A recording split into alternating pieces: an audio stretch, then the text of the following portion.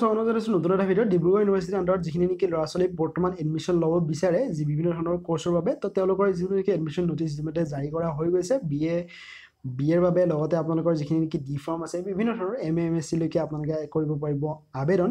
কেনেকৈ কৰিব বা কি আহিছে নটিফিকেশ্যনখন সম্পূৰ্ণ ভিডিঅ'ত দেখুৱাম তো আহক প্ৰথমে আপোনালোকৰ অফিচিয়েল নটিফিকেশ্যন দেখুৱাই লৈছোঁ।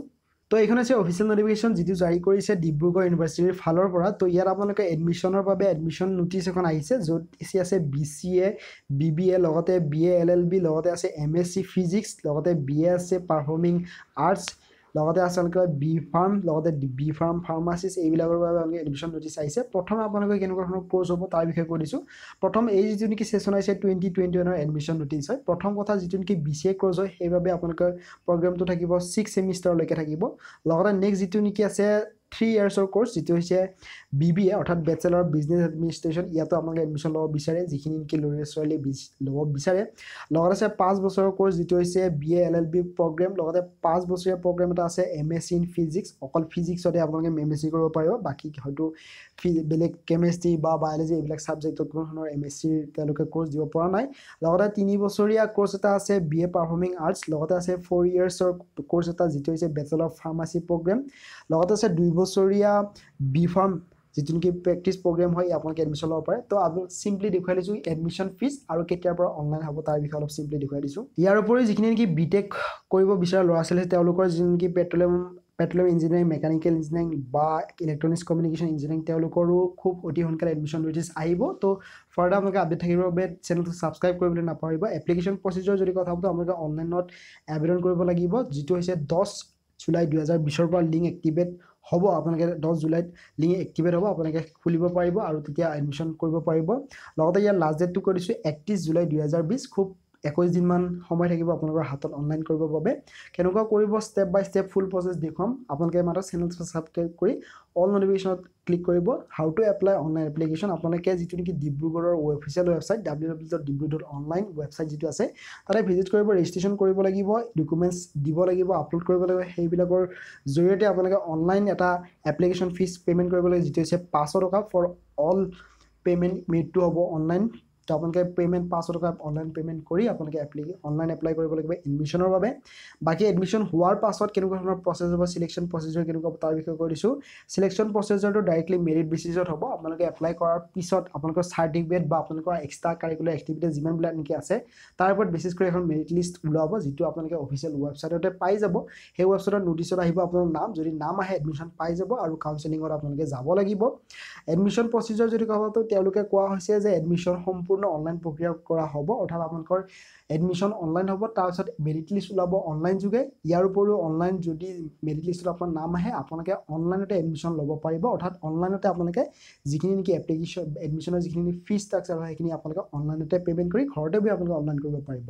লগতে যিটো নেকি নিউ ছেশ্যনৰ যিটো ক্লাছ তাৰ ডেট এতিয়ালৈকে অহা নাই চিম্পলি ডাইৰেক্টলি লিখুৱাম আপোনালোকক কোনটো কৰ্চৰ বাবে কিমান ছেশ্যন আছে কিমান কিমান সময় লাগিব? প্ৰথম কথা যিটো নেকি আছে বি চি এ প্ৰগ্ৰেম তাৰ বাবে টোটেল চাৰিটা চাৰিটা ছিট আছে। ইয়াৰ বাবে আপোনালোকৰ কোৱালিফিকেশ্যন বিচাৰিছে টুৱেলভ পাছ ইয়াৰ উপৰিও লাগিব ফৰ্টি পাৰ্চেণ্ট মাৰ্কছ এগ্ৰিগেট ইয়াৰ উপৰিও মেথছ কমাৰ্চিয়েল এথমেটিক্স ষ্টেটিষ্টিক্স ভিতৰত যিকোনো এটা ছাবজেক্ট লাগিব টুৱেলভ লেভেলত ইয়াৰ উপৰিও আপোনালোকক ফাইভ পাৰ্চেণ্ট ৰিলেক্সেশ্যন দিয়া হ'ব যিখিনি নেকি ৰিজাৰ্ভ কেটেগৰী অৰ্থাৎ S C S T candidate কেণ্ডিডেটে forty percent হ'লে তেওঁলোকে আবেদন কৰিব পাৰিব বি চি এ কৰ্চৰ বাবে। লগতে আপোনালোকে কেনেকৈ এপ্লাই কৰিব এডমিশ্যনৰ প্ৰচেছ সম্পূৰ্ণ ডিউ যিটো নেকি official website W W dot Dibru dot A C dot in বা W W dot C C S DU dot ইনত আপোনালোকে পাব।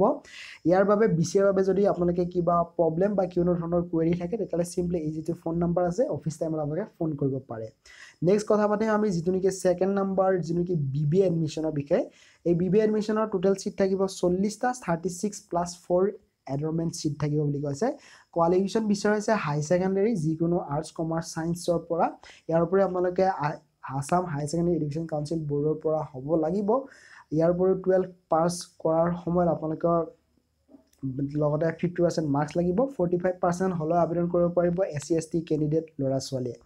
এপ্লিকেশ্যন প্ৰচেছ বা এপ্লিকেশ্যন ফিজৰ যদি কথা পাতোঁ এই যিটো নেকি পাঁচ বছৰীয়া আপোনালোকৰ যিটো নেকি পাঁচ বছৰীয়া নহয় আপোনালোকৰ টোটেল যিটো নেকি এই যিটো নেকি বছৰীয়া কিমান বছৰীয়া মই আপোনাক দেখুৱাই দিছোঁ বাৰু। এইজনী তিনি বছৰীয়া যিটো বি বি এ কৰ্চ ইয়াৰ প্ৰথম এডমিশ্যন ফিজ থাকিব এক হাজাৰ পঞ্চাছ টকা কৰ্চ ফ্ৰী আপোনালোকৰ পাৰ ছেমিষ্টাৰ দহ হাজাৰকৈ দিব লাগিব ইউনিয়ন বা মেগাজিন ফিজ এক্সেট্ৰা মিলি পোন্ধৰশ ফিফটি এইট ৰুপিজ টোটেল আপোনালোকৰ ষোল্ল হাজাৰ পাঁচশ আঠষষ্ঠি টকা ইমান হ'ব আপোনালোকৰ টোটেল ফিজ বিছ এইটো আপোনালোকৰ যিটো নেকি বি বি এ কৰ্চ আছে। নেক্সট আমি কথা পাতিম যিটো নেকি এডমিশ্যন নটিচ আহিছে। নেক্সট যিটো নেকি কৰ্চ সেই কৰ্চটোৰ নাম হৈছে আপোনালোকক চিম্পলি দেখুৱাই দিছোঁ B A L L B H বুলি। এই কৰ্চটো আপোনালোকে ল'ব পাৰে। কোৱালিফিকেশ্যন বিচাৰিছে চিম্পলি পাঁচ বছৰীয়া বি এল এল বি কৰ্চৰ বাবে আপোনালোকক চিম্পলি হাই ছেকেণ্ডেৰী পাছ কৰিব লাগিব। ইয়াত ফৰ্টি ফাইভ পাৰ্চেণ্ট এগ্ৰিগেট হ'ব লাগিব। ইয়াৰ উপৰি আপোনালোকে ৰিলেকশ্যন থাকিব five percent S C S টিৰ বাবে তিনি পাৰ্চেণ্ট কিবা হ'ব অ' বি চি কেণ্ডিডেট অৰ্থাৎ যিখিনি নেকি ফৰ্টি পাৰ্চেণ্ট পোৱা ল'ৰা ছোৱালী আছে এছ চি এছ টি তেওঁলোকে আবেদন কৰিব পাৰিব। ইয়াৰ উপৰি ফৰ্টি টু পাৰ্চেণ্টৰ পৰাই আবেদন কৰিব পাৰিব অ' বি চি কেণ্ডিডেটসকলে ইয়াৰ চিলেকশ্যন ক্ৰাইটেৰিয়া আপোনালোকে মেৰিট লিষ্টৰ আৰু ইণ্টাৰভিউ এটা হ'ব তাৰ ওপৰত বেচিছ কৰি আপোনাক এডমিশ্যন দিয়া হ'ব। ইম্পৰ্টেণ্ট ডেটছ অলৰেডি কৈ দিছোঁ দহ তাৰিখৰ পৰা লিংক এক্টিভেট হ'ব একত্ৰিছ জুলাইত সমাপ্ত হ'ব সোনকালে এপ্লাই কৰিব লাগিব লিংক এক্টিভেট হোৱাৰ লগে লগে। কৰ্চ ফ্ৰী যদি কথা পাতোঁ অনলাইন পে'মেণ্ট কৰিব লাগিব পোন্ধৰ হাজাৰ টকা ইয়াৰ উপৰি আপোনালোকে এডমিশ্যন ফিজ দুই হাজাৰ তিনিশ আশী টকা এনেদৰে থাকিব টোটেল নেক্সট কথা পাতিম আমি যিটো নেকি এডমিশ্যন নটিচ হৈছে এম এছ চি প্ৰগ্ৰেম ফিজিক্সৰ বাবে। ইয়াত আপোনালোকৰ টোটেল এইচ এছ কোৱালিফিকেশ্যন বিচৰা হৈছে। কোৱালিফিকেশ্যন এইচ এছ থাকিব লাগিব ইয়াৰ উপৰি ষাঠি পাৰ্চেণ্ট থাকিব লাগিব এইচ এছত আৰু ষাঠি পাৰ্চেণ্ট থাকিব লাগিব ফিজিক্স আৰু মেথছ ছাবজেক্ট দুটাত। ইয়াৰ আপোনালোকে অলৰেডি কৈছোঁ কিমান হ'ব।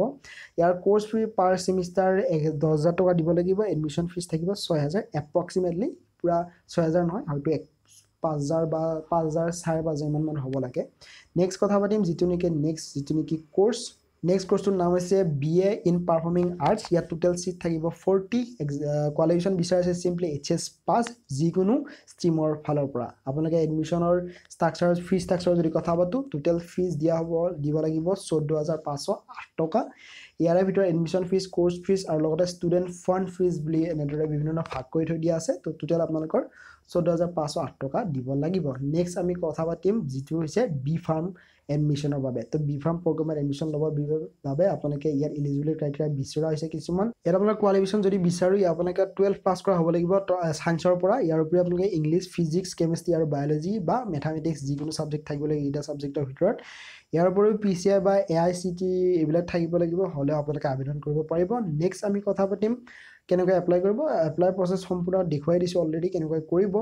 নেক্সট যিটো হৈছে বি ফাৰ্ম ফাৰ্ষ্ট ইয়েৰৰ যিটো নেকি কৰ্চ ডিউৰেশ্যন বা কেনেকুৱা ধৰণৰ কি হ'ব টোটেল চিট কিমান থাকিব বা অসমৰ বাবে থাকিব টোটেল সাতটা ইয়াৰে ভাগ কৰা থাকিব। কাষ্ট অনুযায়ী আপোনালোকে চাব পাৰিব কেনেকৈ কিমানটা ভাগ দিয়া নেক্সট কথা পাতিম বি ফাৰ্ম প্ৰেক্টিছৰ বাবে যিটো প্ৰগ্ৰেম টুৱেণ্টি টুৱেণ্টি ওৱানৰ ছেশ্যনৰ বাবে ইয়াত আপোনালোকে বি ফাৰ্ম এডমিশ্যনৰ বাবে কোৱালিফিকেশ্যন বিচৰা কেনেকুৱা ধৰণৰ হ'ব?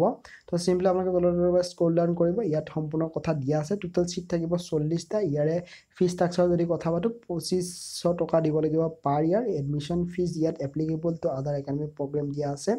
কেনেকৈ এপ্লাই কৰিব সম্পূৰ্ণ প্ৰচেছ দেখুৱাই দিম লিংক এক্টিভেট হোৱাৰ লগে লগে। ইয়াত কোৱা আছে লাষ্ট ডেট এই যিটো নেকি প্ৰচেছ লাষ্ট ডেট এক্সটেণ্ড কৰিব পৰা হ'ব পাৰে।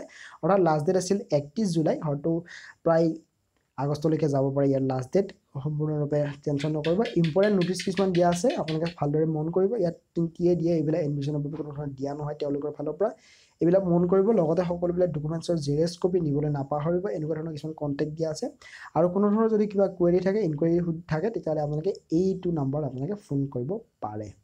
নেক্সট আপোনালোকে ইয়াত আছে এনেক্সাৰ জি এ বুলি ইয়াত আপোনালোকে নন অবজেকশ্যন চাৰ্টিফিকেট বুলি এখন আছে ফৰ্ম যিখন নেকি এমপ্লয়ৰ বাবে হয়। ইয়াত আপোনালোকে ফিল আপ কৰিব যিখিনি নেকি অলৰেডি কিছুমান কিবা এমপ্লয় কৰি আছে। তো বাকী কথা নেক্সট প্ৰচেছত দেখুৱাম কেনেকৈ এপ্লাই কৰিব দহ তাৰিখে লিংক এক্টিভেট হ'ব। বাকী চেনেলটো ছাবস্ক্ৰাইব কৰিব চেনেলটো ৰেগুলাৰলি ভিজিট কৰিব আৰু ভিডিঅ'টো যিমান পাৰে ডিব্ৰুগড় ইউনিভাৰ্চিটি এডমিশ্যন ল'ব বিচৰা ল'ৰা ছোৱালীৰ শ্বেয়াৰ কৰক যাতে তেওঁলোকে সম্পূৰ্ণ প্ৰচেছটো ভালকৈ বুজি পায়। ধন্যবাদ।